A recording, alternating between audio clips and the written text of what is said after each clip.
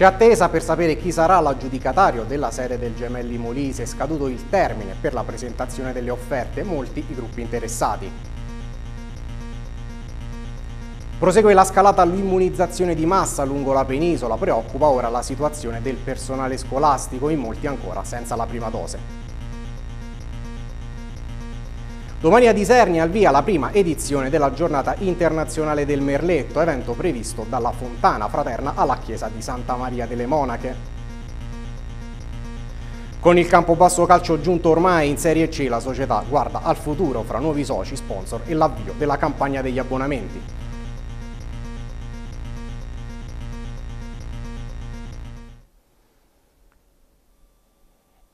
Ben ritrovati gentili telespettatori con questo nuovo appuntamento con l'informazione di TLT, come avete sentito dai titoli apriamo parlando di sanità, c'è attesa per il nome dell'aggiudicatario della struttura del Gemelli Molise, la decisione sarà ratificata nell'arco di qualche giorno dal Consiglio di amministrazione della Fondazione Romana, ma andiamo ad ascoltare insieme. Dopo la scadenza per la presentazione delle domande riguardo la vendita della struttura del Gemelli Molise, c'è attesa. Fra qualche giorno il nome dell'aggiudicatario, a seguito di una lunga analisi dei concorrenti che si sono presentati per aggiudicarsi la sede. Al momento le offerte più appetibili, secondo Rumors, sembrano essere quelle delle grandi attività dei gruppi sanitari come l'Humanitas o il Neuromed, entrambi proprietari già di numerose strutture in tutta Italia, insieme al gruppo Pegaso, l'Università Telematica. C'è riservo sulla vendita della proprietà nata dall'Università Cattolica del Sacro Cuore dell'Istituto Giuseppe Toniolo. Il tentativo della regione Molise di diventare proprietaria non è dunque andato a buon fine e a breve si conosceranno i nomi degli imprenditori interessati all'acquisto.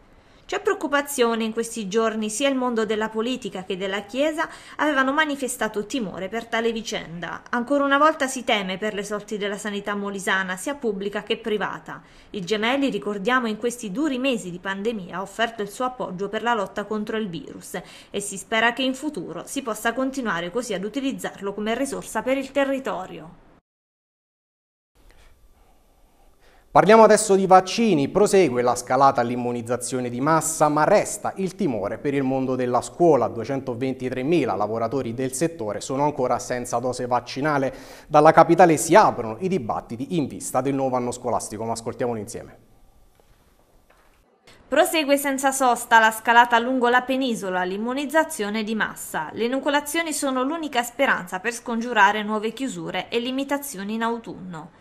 In Molise sempre bene, ma la chiusura del centro vaccinale dell'Università degli Studi del Molise preoccupa circa un possibile rallentamento del sistema.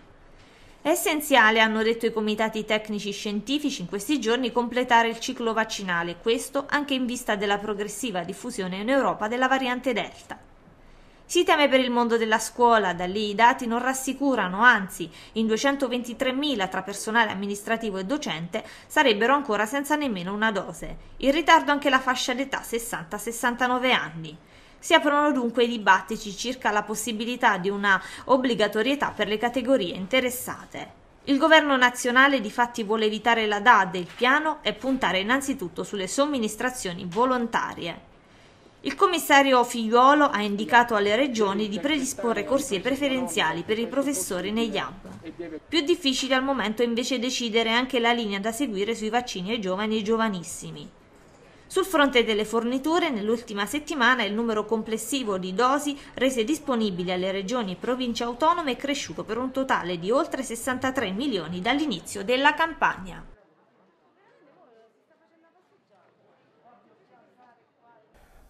Con delibera ASREM il direttore generale Oreste Florenzano ha dato il via libera ad un avviso pubblico a tempo determinato per due assistenti sociali a servizio delle USCA e due psicologi sempre a servizio delle USCA e uno per il potenziamento delle cure primarie, due figure essenziali in questo periodo per la lotta alla pandemia.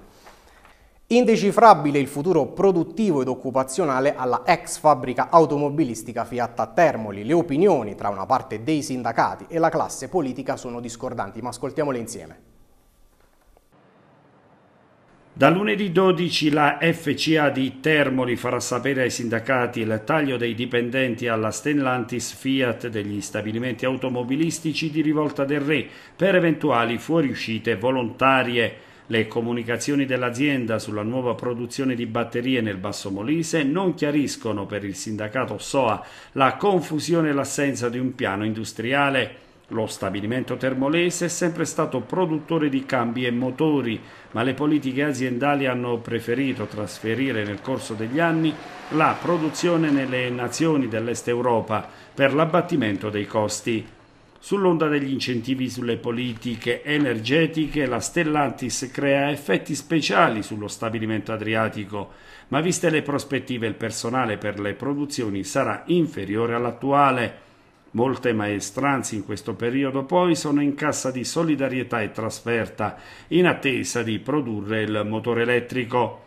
Se da un lato c'è una opportunità di allargare l'indotto e riadattarlo alle nuove tecnologie, necessarie per costruire gli accumulatori, dall'altro c'è la necessità di capire cosa si produrrà all'interno dell'ex Fiat, commenta il politico del Movimento 5 Stelle Fabio De Chirico.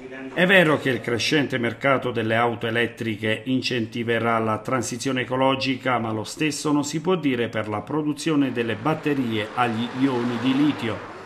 Ancora non è chiaro inoltre se la fabbrica si occuperà del solo assemblaggio delle celle elettrochimiche oppure anche della produzione delle singole celle. La scelta di scartare lo stabilimento Mirafiori di Torino a vantaggio di quello termolese è legata a diversi fattori, ma la vicinanza di importanti aziende chimiche nello stesso nucleo industriale potrebbe aver avuto più influenza sui vertici di Stellantis. Eh, l'Ordine dei giornalisti ha iniziato questa mattina le lezioni formative sulla lingua dei segni. Ad inaugurare la prima lezione nella sede di via 24 maggio a Campobasso il presidente e il vicepresidente dell'Ordine Vincenzo Cimino e Cosimo Santimone. Con questa, ha detto Cimino, valuteremo se ci sono le condizioni per andare nella direzione che mira a una formazione di una classe di giornalisti in grado di soddisfare le domande di informazioni per chi è in difficoltà. La vicenda dei licenziamenti della Guardia Giurate impegnate nel servizio di vigilanza al Consiglio regionale non ha trovato alcuna soluzione. Per questo motivo l'organizzazione sindacale Cobas ha proclamato una prima giornata di sciopero all'interno del settore, ma vediamo insieme hanno tentato di tutto le guardie giurate che lavoravano alla portineria del Consiglio regionale e che, nell'ambito del passaggio dell'appalto tra l'Istituto Aquila e la società subentrante il poliziotto notturno, si sono trovate senza lavoro, nonostante il blocco dei licenziamenti ancora in atto e gli accordi propri del comparto. Dopo le riunioni in prefettura a Campobasso e i tentativi di accordo, il sindacato che li rappresenta, il COBAS, ha proclamato lo sciopero del settore per il 13 luglio con presidio davanti la sede del Consiglio regionale. Quattro lavoratori che prestavano servizio presso la sede del Consiglio regionale come guardie giurate, dalla sera alla mattina, eh, il primo giugno, si sono ritrovati licenziati. Questo in barba a tutte le norme, le leggi, tutto quanto previsto per i cambi di appalto, che nella vigilanza diciamo, hanno anche delle caratteristiche particolari.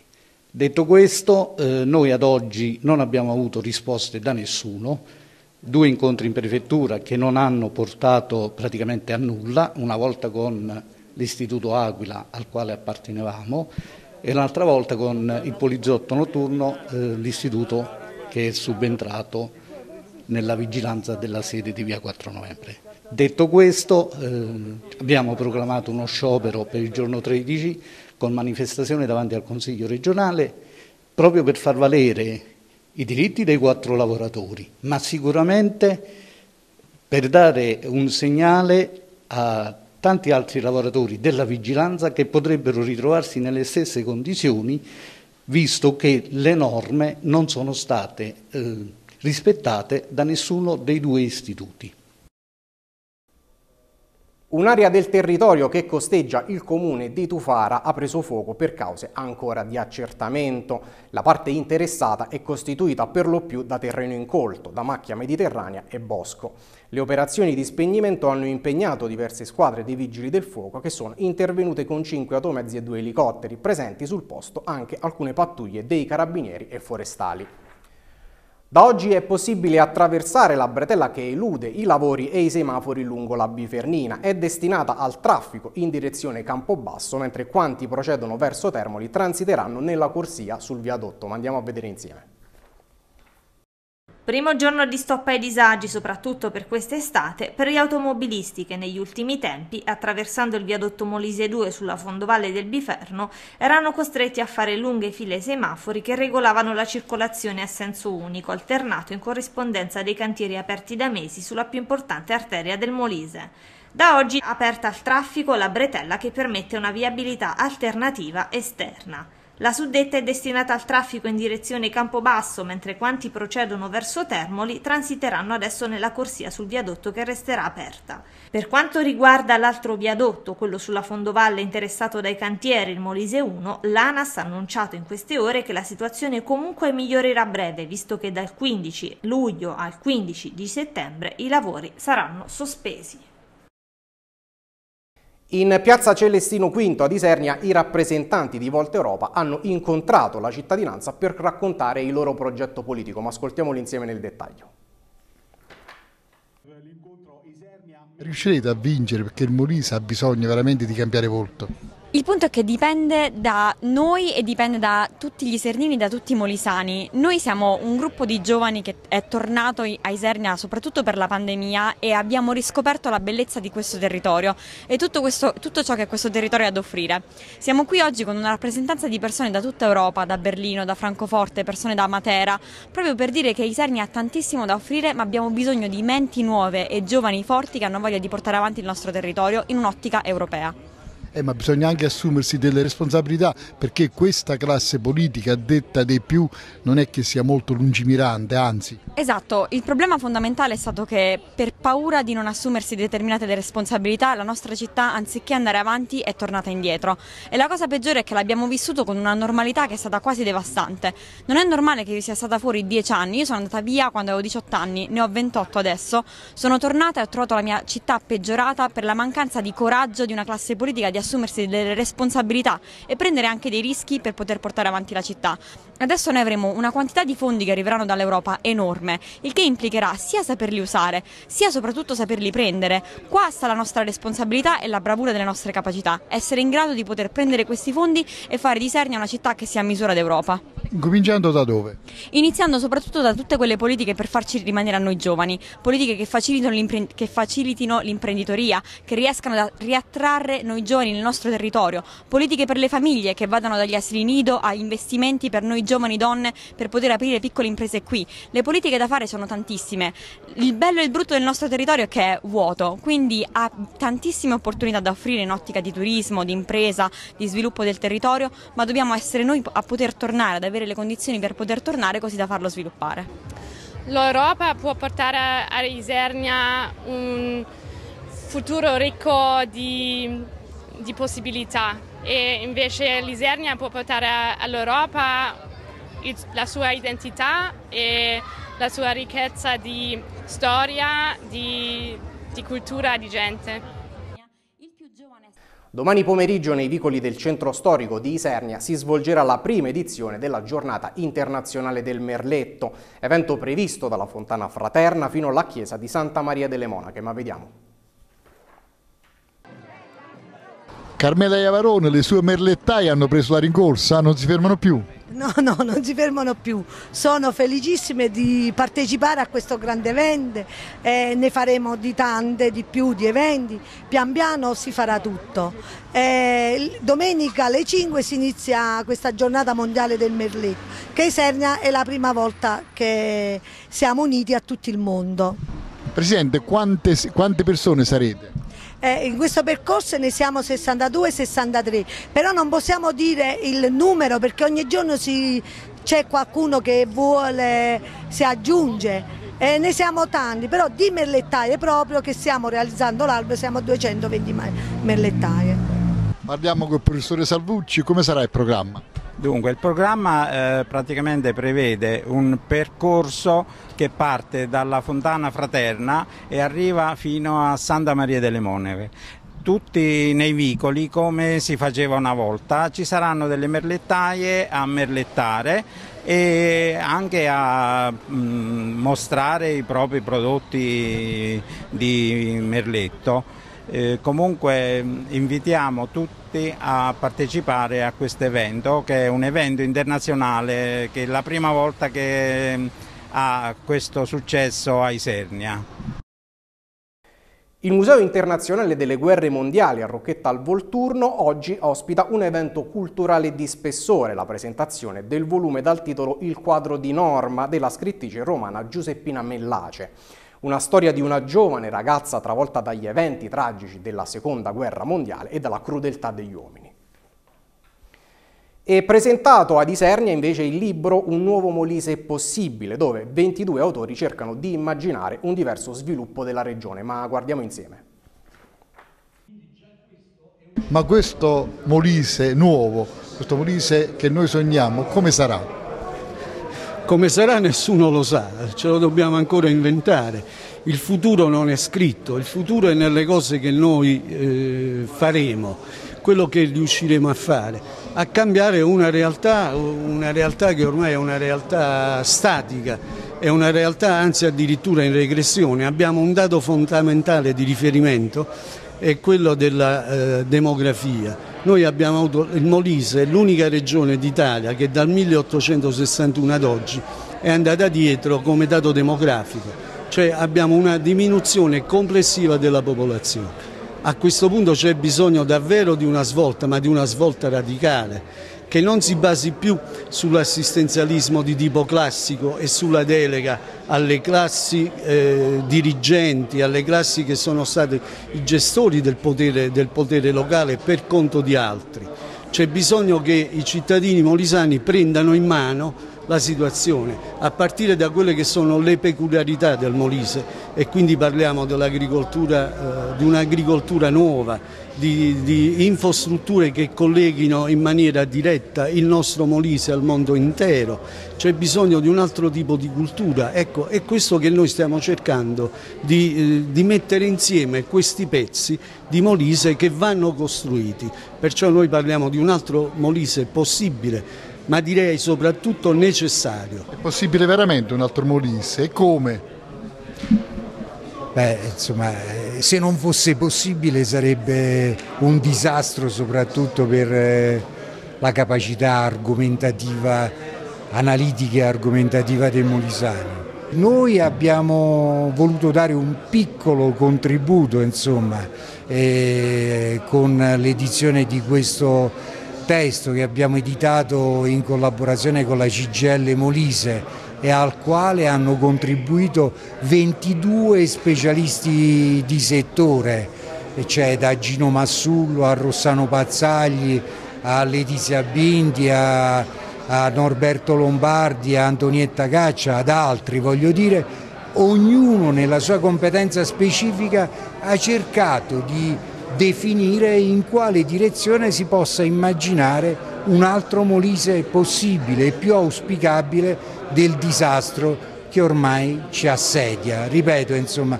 non ci sono articoli del New York Times o altri interventi sulla stampa nazionale in grado di lenire questa condizione di marginalità e di mediocrità insomma, che, attena, che attanaglia la nostra regione. Abbiamo bisogno di un'altra classe dirigente che abbia un'idea plausibile e auspicabile di futuro.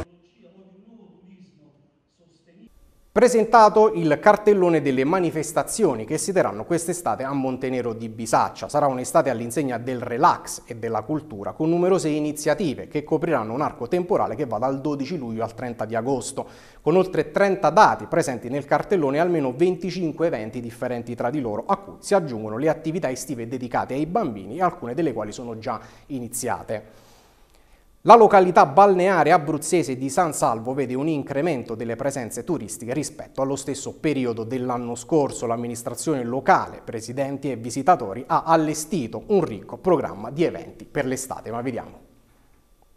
Oltre 100 eventi distribuiti tra il centro storico, la villa comunale e San Salvo Marina sono gli appuntamenti inseriti nel calendario delle manifestazioni estive presentati dal sindaco Tiziana Magnacca, dagli assessori alla cultura e al turismo Maria Travaglini e Tonino Marcello e dal presidente del Consiglio Comunale Eugenio Spadano.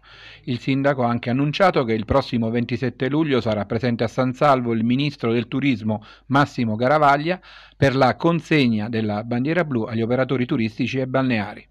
Siamo arrivati un po' lunghi quest'estate con il calendario eh, estivo, ehm, ma ce l'abbiamo fatta. Abbiamo atteso eh, che i provvedimenti di fine maggio ci dessero il via e, eh, e, gli assessori che avevano già iniziato la programmazione hanno portato a compimento il calendario estivo. Un calendario che è soprattutto finalizzato a farci vivere con la leggerezza dovuta dopo tanti mesi di paure e di chiusure l'estate 2021 a San Salvo, un calendario che incornicerà un'estate che eh, sarà sicuramente piena di presenze turistiche, così come ci raccontano i nostri operatori turistici che parlano di un, um, di un pieno nelle prenotazioni, per cui a noi il dovere di incorniciare con un po' di leggerezza, con un po' di uh, svago e insieme all'assessora alla cultura con una, uh, un taglio taglio culturale l'estate sansalvese. San Salvo aspetta tutti, aspetta i turisti, aspetta i cittadini che anche da qui vicino vogliono venire a, um, a godere l'estate sansalvese nelle serate più calde dell'anno, uh, con un calendario che è giusta, um, il giusto equilibrio tra desiderio di tornare a vivere in spensieratezza e l'obbligo che tutti abbiamo di pensare alla nostra sicurezza, soprattutto alla sicurezza per la nostra salute. Anche quest'anno con tanto lavoro siamo riusciti a fare il calendario estivo, e come tutti gli anni abbiamo fatto il nostro meglio, anche se arrivati un po' in ritardo, ma a differenza di tanti altri comuni che non hanno messo in campo queste iniziative, noi ce l'abbiamo fatta e con anche artisti di successo, come vediamo sullo sfondo a partire da Massimo Ranieri e tutti gli altri che contornano questo manifesto, sicuramente allieteranno i nostri ospiti, i nostri vacanzieri. Tanti gli appuntamenti dedicati soprattutto al nostro centro storico e anche alla villa comunale, teatro, musica, eh, cultura in senso stretto, libri. Mm, l'invito è a eh, venire mm, nel nostro centro storico per fruire di questi appuntamenti eh, per la nostra estate. Vi aspettiamo. Domani mattina nella Villa De Capo a Campobasso si esibirà il Tile Brass Quintet per l'appuntamento all'aperto di musica in villa. Il concerto è previsto alle ore 11. Il quintetto chiamato a esibirsi nella villa comunale prende ispirazione dai Canadian Brass e nasce da un'idea di cinque studenti del conservatorio nel 2016. Musica in villa andrà avanti fino a domenica 1 agosto. Ma passiamo adesso alle previsioni del meteo.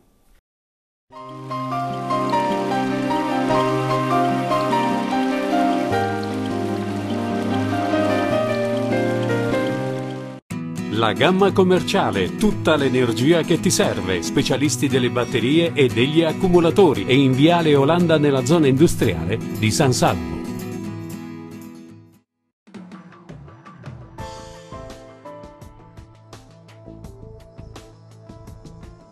Cielo ampiamente soleggiato sul Molise, prevalentemente stellato dalla sera. Le temperature odierne sono comprese tra i 21 gradi di Campobasso fino alla massima di 30 di Sernia Ventilazione settentrionale, calmo il medio Adriatico. Sulla regione domattina tornerà a splendere il sole, valori climatici in rialzo, correnti deboli di direzione variabile.